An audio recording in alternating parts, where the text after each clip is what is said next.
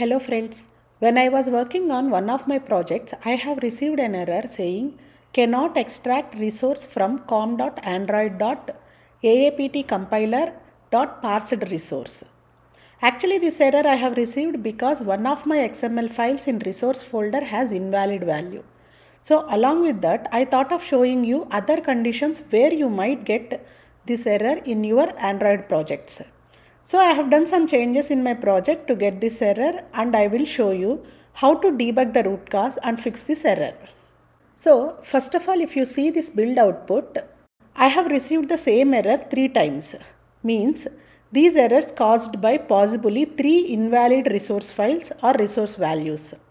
Okay, select this resource compilation failed error.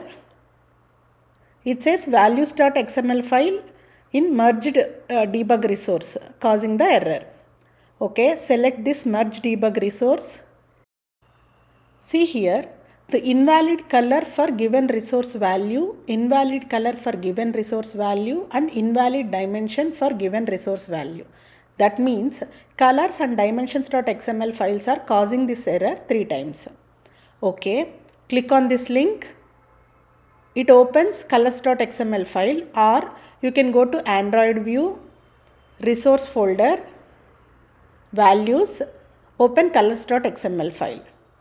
Here check all the attributes and values.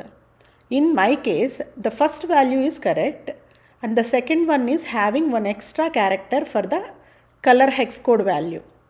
Okay, delete it. And there are two errors from colors file. So check for the other attribute value also. Here the problem is hash is missing for the color hex code value. Add hash for this and there is one more error from dimensions.xml file. Click on this. Okay, it is opening merged values file. Okay, from resource folder select dimensions.xml file. Okay, see here dimension value is defined as 16p instead of 16dp. So add d. Actually the Android Studio should give these warnings while compiling itself but it is throwing errors only while making the build. Okay, I have rectified all my mistakes in all three places in XML files. Now build the project. See the build is successful.